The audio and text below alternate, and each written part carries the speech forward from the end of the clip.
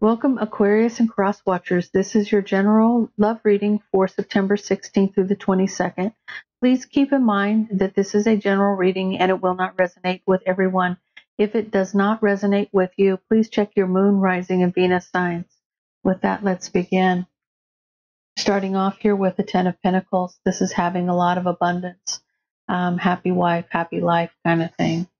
Um, next to that, we have the Two of Pentacles which somebody could have been juggling.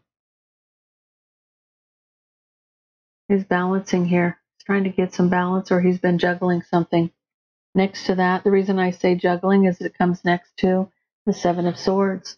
Some lying, cheating, and stealing going on here. Some deception, definite deception, juggling, juggling his Ten of Pentacles. Because next to that, we have the Nine of Pentacles. This is a single person they're very abundant and they don't need anybody.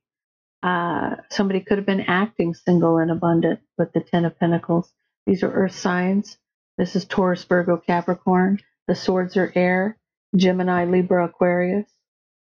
It comes next to the Three of Cups.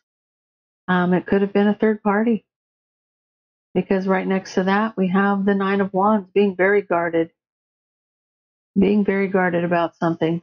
So she's she's single, or somebody could have been acting single, and in a third party situation, and now somebody's very guarded about it. Someone's put a wall up, and they're not taking they're not taking any shit here.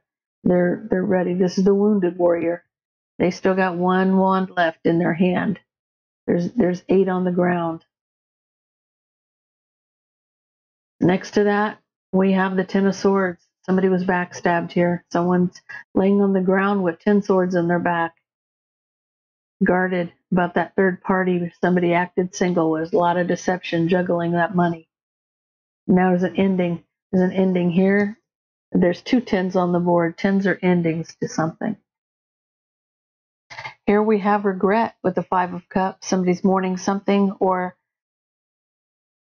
they're just having regrets. They see these three spilled cups on the ground here, but there are two still up here. The two cups are behind her. She's not even looking at them. Somebody's feeling stuck with the Eight of Swords. You're not really stuck. Um, the blindfold uh, could be tissue paper, but she's surrounded by swords. Um, it's all up in her head. She can get out of this. It's a choice she's making here to feel stuck in something, but having regret because of the, the ending, because possibly acting like they were single, juggling, and deception. But he's looking at somebody from his past. He's wanting that. Re- he's looking at a relationship from his past. This is somebody he's probably known since childhood. Could be a past life soulmate. Could be your ex. So feeling stuck and having regrets because of what he's done, and and that person was his Ten of Cups, which is his happily ever after. Probably had that Ten of Pentacles with her, but he was acting single and deceptive. Now he's looking at the past and the relationship that he had with his wife. This looks like this is a husband and wife card because uh, the Queen of Pentacles is usually the wife, the King of Pentacles is usually the husband, but this is a very grounded, solid, stable person. So he's looking he's looking at the past relationship with her. She was his two of cups. She was his ten of cups. He had he had it all with her. But he was acting single and deceptive in a third party. Now he's at a crossroads and he's trying to make a decision which way to go with this relationship. Because here we have the Hierophant. The Hierophant is Taurus. Where does he go with this relationship? He's looking at the past, he's trying to make that decision. And here, he's looking at the past again. What seeds were planted? Seven of Pentacles, looking at the past. Same with Six of Cups, past life or past uh, a past relationship. Making that decision about that relationship from the past because we have the Six of Pentacles here, which is uh, an equal give and take. but it doesn't look like there was an equal give and take. She's giving her pentacle to this person, and this one's begging in the background. So this one got crumbs while this one was taken care of because he was acting single and deceptive. I was looking at that, figuring out that he has to come in with a message to her. You know, this has to be a grounded message. This has to be something that, eh, that she's going to listen to. Because there's secrets here. The secrets with the moon, something that's been kept in the dark about this deception that he's feeling stuck about in this third party playing like he was single when he was married. There was secrets there.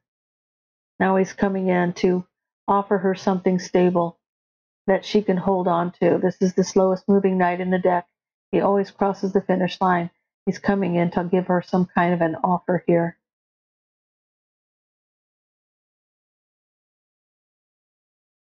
And it could be because there was a missed opportunity, or it could be because um, he was discontent about something. That cup's being offered there, but somebody's not even bothered to look at it. She might not be looking at this offer. She she might not be satisfied with that. She knows something else is up here. So he's coming in to give her a cup, but I don't know that she'll take it.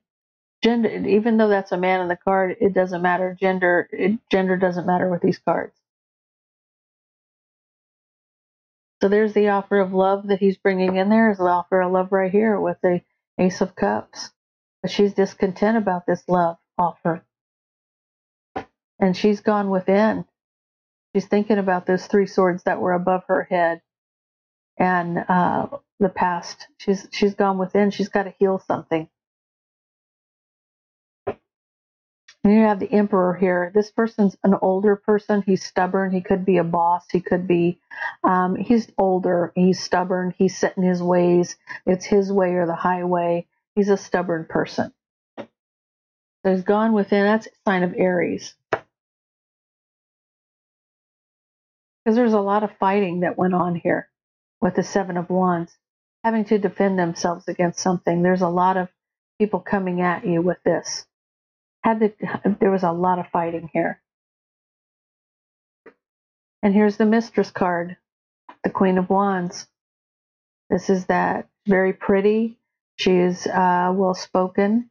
She likes to be in the outdoors. She likes a lot of attention. She's a very passionate person. A lot of fighting with her. An Ace of Wands, a new passionate beginning. Wanting a new passionate beginning. He's wanting a new cup of love and he's wanting a new passionate beginning, but he's very anxious about it. It could be because there's a lot of fighting with the third party that there's still secrets about. So this third party is not out of the picture in this reading. She's not out of the picture. He's coming back towards his wife but the third party is still in the picture. There's some anxiety. There's a lot of anxiety there and want that new passionate beginning, but looks like he's fighting with her about it. That's all I have for you, Aquarius. If this resonates with you, please leave me a comment down below. Hey guys, make sure you check me out on Vimeo, Instagram, Facebook, and Patreon. If you book a reading with me, I will give you $10 off your first reading. Also, I'm going to give away a free 30 minute reading to a subscriber once a month. Hit the like, share, and subscribe button if you want a chance to win. With that, see you next week.